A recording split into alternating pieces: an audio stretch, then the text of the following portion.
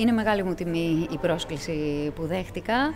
Ε, είναι πολύ, νομίζω, ωραία η συγκυρία να συναντιέσαι και με ανθρώπους που μοιράζεσαι μια κοινή ιδεολογία και είναι και πολύ υπέροχα για μένα και σε καλλιτεχνικό επίπεδο γιατί θα βρεθώ με τόσους αξιόλογους συναδέλφους μου και αγαπημένα μου πρόσωπα στη σκηνή και θα τραγουδήσω αυτά τα υπέροχα τραγούδια.